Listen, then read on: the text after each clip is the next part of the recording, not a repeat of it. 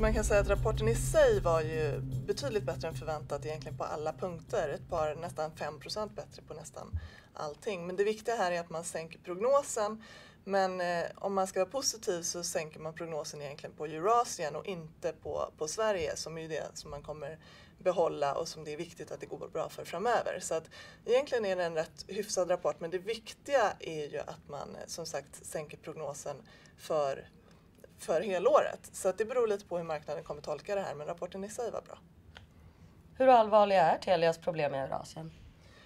Alltså det som Muddy Waters kom upp med häromdagen, det viktigaste med det är väl egentligen att marknaden inte gillar osäkerhet. För att det som Muddy Waters tog upp är egentligen inget som vi inte visste innan men man blir naturligtvis orolig att det ska finnas någonting mer här.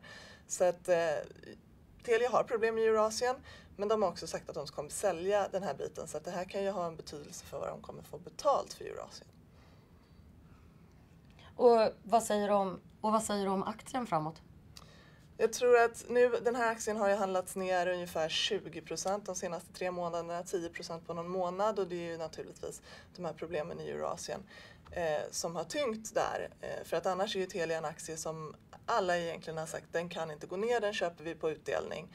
Så att det viktiga från den här punkten är ju vad är det som är kvar i kärntelia, hur mycket kommer man kunna dela ut framöver? Och jag tror att om man eh, titta på utdelningen. man behöver inte vara orolig för utdelningen eh, för i år, men det som man ska vara orolig för på sikt är vilken utdelning Telia kan tänkas lämna då. Och tittar man på France Telecom för några år sedan så känns det ganska uppenbart som att utdelningen i Telia den bör man vara orolig för oavsett hur det går med Eurasien.